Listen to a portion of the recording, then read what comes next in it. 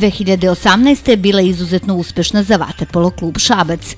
Treće mesto na kraju državnog prvenstva, plasman u A1 regionalnu ligu i na kraju godine osvajanje prvog trofeja Kupa Srbije, uz omasovljenje škole Vaterpola i uspeh mlađih kategorija kao i ženske ekipe, najvažniji su rezultati koje je ovaj tim postigao prošle godine.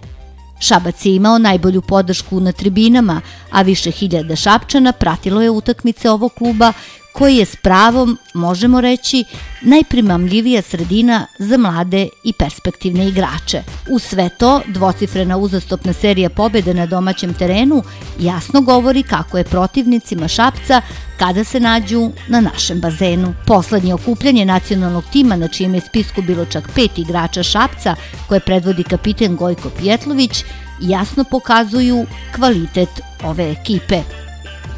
Najuspešniji sportski kolektiv u 2018. Vaterpolo klub Šabac –